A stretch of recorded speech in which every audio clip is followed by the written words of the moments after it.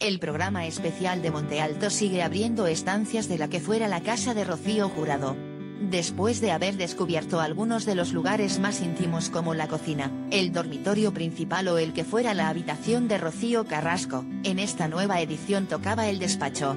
Un lugar en el que se encontraba habitualmente una de las amistades más estrechas de la cantante, Juan de la Rosa era su hijo, su hermano, su marido. Era su todo.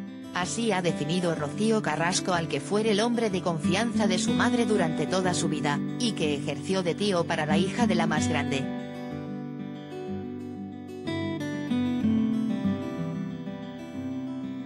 En el despacho, Rocío Carrasco ha hablado de la relación tan especial que había entre ellos, discutían mucho pero era muy cómico.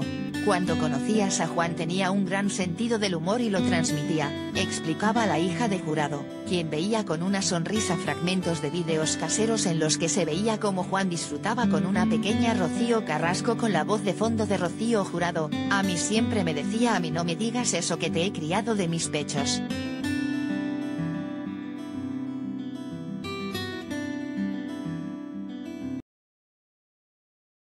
Tras recordarle, y para sorpresa de Rocío Carrasco, Jorge Javier Vázquez le enseñó un paquete que había llegado por mensajería a la productora proveniente de la familia de Juan de la Rosa.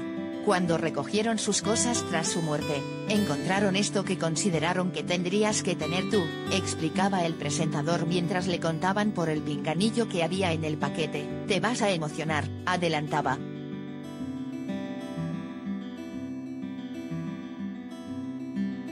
Se trataba de una caja en la que había decenas de fotografías familiares en las que aparecía Rocío Carrasco de pequeña con su tío.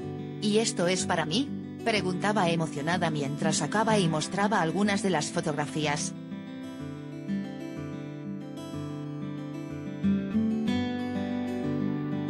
Y es que los sobrinos de Juan de la Rosa, quienes habían enviado la caja, habían encontrado decenas de fotografías de la familia Jurado, Además, habían añadido un álbum de fotos de la juventud de Juan de la Rosa. Esto me lo llevó, sentenciaba con una amplia sonrisa agradeciendo su regalo.